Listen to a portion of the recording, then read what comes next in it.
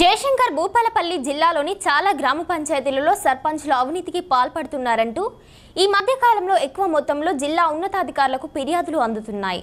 చిట్యాల దామరకుంట సర్పంచ్లపై వచ్చిన ఆరోపణలపై అధికారులు విచారణలు కూడా చేశారు. తాజాగా రేగొండ మండలం పోచంపల్లి గ్రామ సర్పంచ్ అవినీతికి పాల్పడ్డాడంటూ వార్డు సభ్యులు కలెక్టర్కు ఫిర్యాదు చేశారు.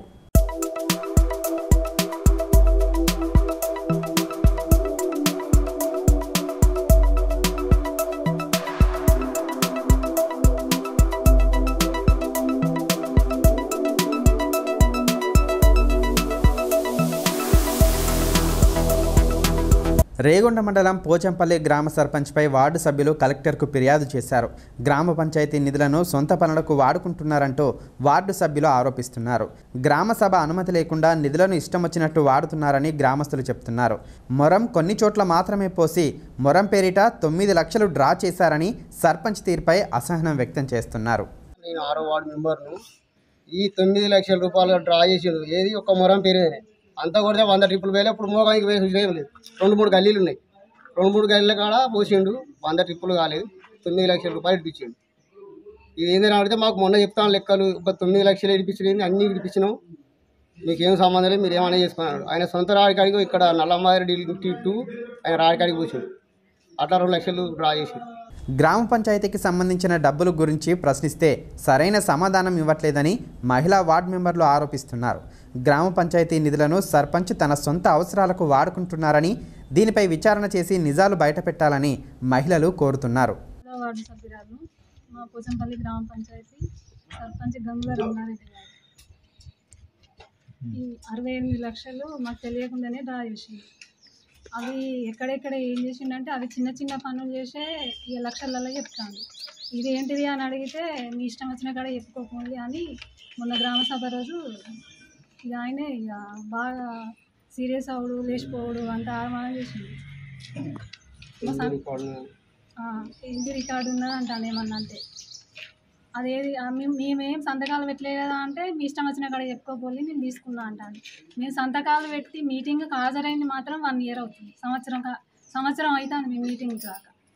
మరి ఆ సంతకాలు పెట్టి డ్రా చేసుకుంటాడా? ఎట్లా చేస్తాడో మాకు తెలియదు. గత మూడు సంవత్సరాల నుంచి ఇప్పటి వరకు గ్రామ పంచాయతీ అభివృద్ధి కోసం డెబ్బై ఒక్క లక్షల ఎనభై వేల నిధులు విడుదలయ్యాయని గ్రామస్తులు చెప్తున్నారు.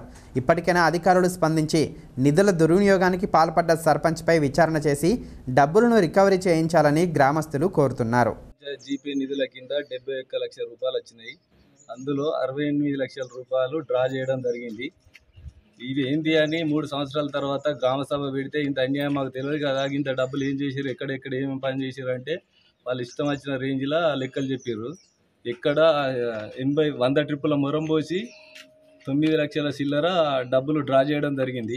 ఇది ఏంటిది ఇది అన్యాయం అంటే మీకు దిక్కున్న కాడ చెప్పుకోపోరు ఎంపీ రికార్డు ఉన్నది సమాచార హక్కు చట్టం ఉన్నది అన్నారు. అదేవిధంగా సమాచార హక్కు చట్టం ఉన్నది కానీ ఏ వార్డుకు మొరం పోయలేదు. నాదే ఏడో వార్డు నేను జిరక్స్ వార్డు నెంబర్ను ఏడో వార్డు. మా వార్డు మీద ముప్పై ట్రిప్పులు పోసిళ్ళు. మిగతా ఊరంతా కలిసి ముప్పై ట్రిప్పులు. సరే వంద ట్రిప్పులు పోసిళ్ళు. వంద ట్రిప్పులకు తొమ్మిది లక్షల ఎనభై వేల ఎనిమిది వందల అరవై ఆరు రూపాయలు ఇప్పించిళ్ళు. ఇదేం అన్యాయం అంటే మీకు శాతమైన కళ చెప్పుకోబోరి భయ్ అని సర్పంచ్ అడిగిండు. కార్యదర్శి ఇదేం సంగతి అంటే మిస్ఫైర్ జరిగింది కానీ నేనేం చేయలేను కదా ఆయన రాజకీయ నాయకుడు కాబట్టి ఇచ్చిండంట. మరి అదేవిధంగా గ్రామ సభలో తీర్మానాలు ఉన్నాయా? వార్డు నెంబర్ల సంతకాలు ఉన్నాయా అంటే అదంతా సంబంధం లేదు. మీకు శాతనైన పని చేసుకోండి అని చెప్తారు మరి ఏ విధంగా ఇది జరిగిందో కలెక్టర్ గారికి మా విన్నపం ఏంటంటే గ్రామస్తులుగా మా విలేజ్లో చిన్న చిన్న గల్లీల రోడ్లు ఉన్నాయి. ఈ డెబ్బై ఒక్క లక్షల రూపాయలు పెడితే మా ఊరు మంచి సందు పోకుండా సీసీ రోడ్లు అయి ఉండేటి. ఇష్టం వచ్చిన రేంజ్లో ముప్పై రోజుల ప్రణాళికలు కానీ పదిహేను రోజుల ప్రణాళికలు కానీ విపరీతమైన డబ్బును వృధా చేసిండు. పది మంది పదిహేను మంది లేబర్ను పెట్టి లక్షలు రెండు లక్షల రూపాయల చొప్పున ఇడిపియడం జరిగింది. ఇదేంటి అని మేము అడిగితే ఆయన మమ్మల్ని ఇసిరెత్తాడు. కాబట్టి దయచేసి మా విలేజ్ బాగుపడాలని చెప్పి మేము కోరుకుంటూ మా విలేజ్కి న్యాయం చేయాలని కలెక్టర్ గారికి మేము విన్నపించుకుంటూ మేము అదేవిధంగా కలెక్టర్ గారికి మెమోరాండం ఇవ్వడం జరిగింది.